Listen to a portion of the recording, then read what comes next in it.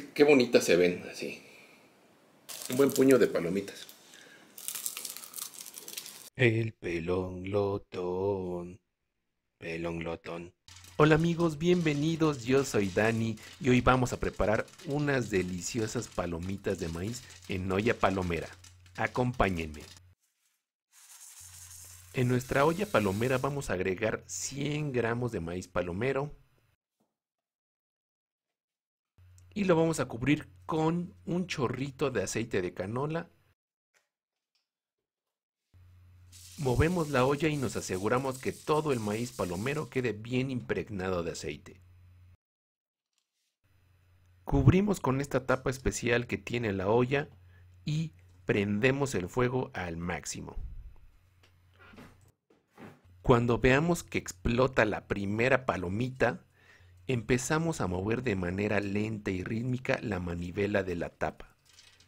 Esto hará que todo el maíz palomero tenga aceite y calor uniforme.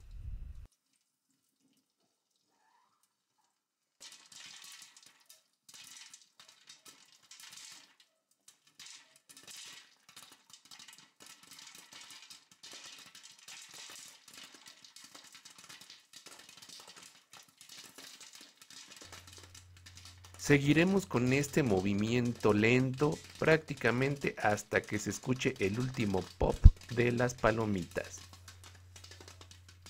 Esto huele delicioso.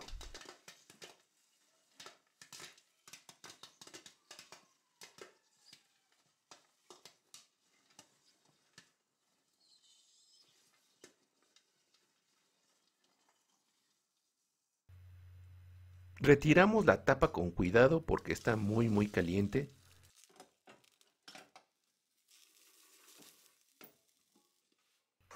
Y servimos en un tazón grandote.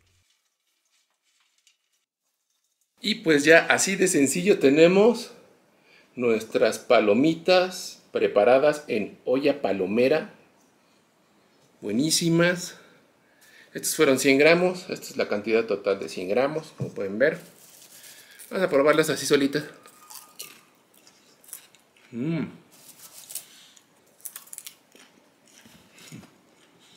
Mmm. Mmm. Así solitas nada más. Mm, con el aceite de canola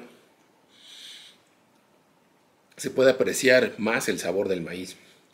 Eh, realmente la gran diferencia con las palomitas de microondas es que no tienes todos los químicos que le ponen a esas palomitas. Las palomitas de microondas me gustan mucho, pero pueden llegar a ser muy, eh, muy grasosas. De hecho, cuando terminas de comer ese tipo de palomita, te queda el paladar como grasiento, ¿no?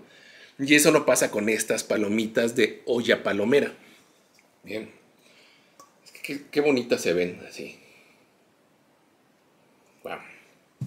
Bueno, vamos a darle el toque mexicano, porque yo sé que a ustedes les encanta el limón. Y a mí también me encanta el limón. Limoncito. Salsita valentina.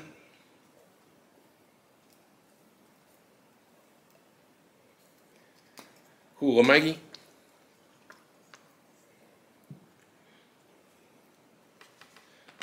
Y una pizquita de sal.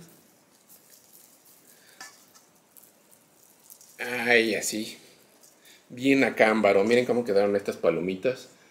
Con su limoncito, salsa valentina y jugo Maggi. Uf. Por una tarde de películas, para ver el fútbol. Para pasarse un buen rato.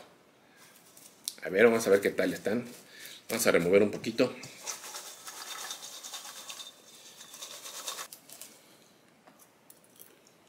Mmm. Wow.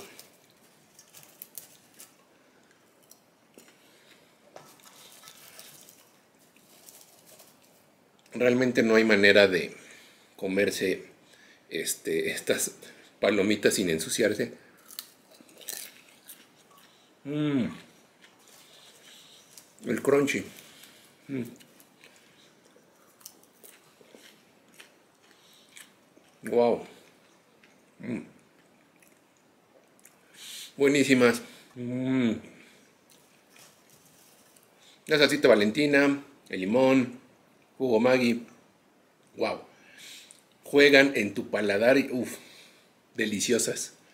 A ver, me voy a dar un buen puño, un buen puño de palomitas.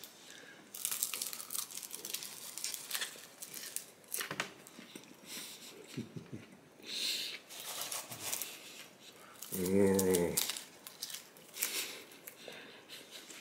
Si, si, las van a comer con su pareja o con alguien más, no hagan esto. Para aquellos que se están cuidando y están llevando un estilo de vida saludable, estas palomitas pueden ser la mejor opción de snack para completar su dosis de carbohidratos. Les voy a mostrar la olla palomera. La acabo de lavar después de utilizarla.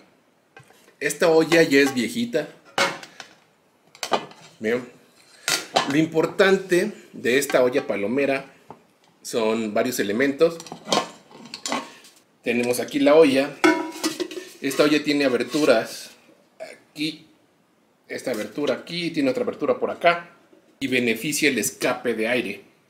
Lo que tiene también es esta tapa con esta manivela para que tú puedas mover el maíz palomero en la olla y se puedan cocinar uniformemente. Y también tiene esta pequeña ventilita por aquí, si lo pueden observar.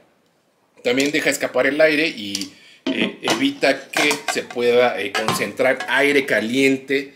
Esta olla ya está viejita, heroína de mil batallas. Vean. Pues yo voy a seguir comiendo mis deliciosas palomitas Muchas gracias por ver este video. Por favor, síganme en mis redes sociales. Si están viendo este video en YouTube, por favor, comenten, denle like, suscríbanse, eh, déjenme una mentada de madre si ustedes quieren.